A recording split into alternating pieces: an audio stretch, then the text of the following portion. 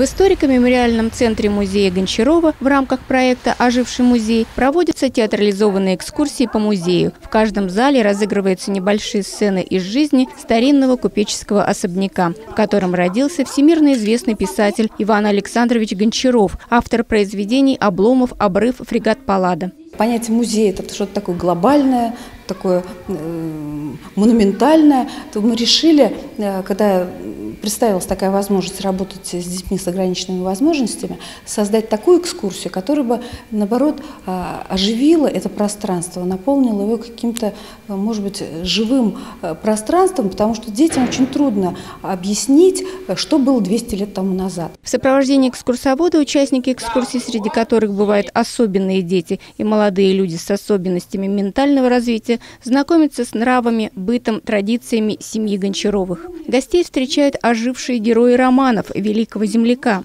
Все роли исполняют молодые артисты с ментальными отклонениями, а также их родители. Все наши артисты – это инвалиды первой или третьей группы. Вот представьте, что э, эти люди нашли в себе сил, возможности вырваться из домашнего пространства, из ограниченных условий. Вообще э, такие люди очень сложно находят себя в жизни.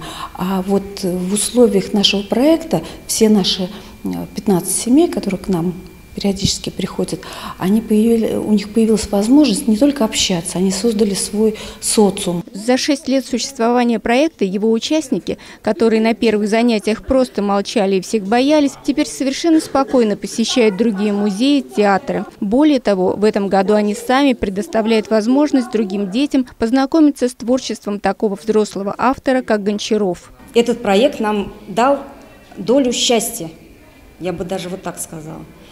Мы можем себя нарядиться красиво, можем показать себя, чтобы люди нас видели, не пугаемся и радуемся жизни.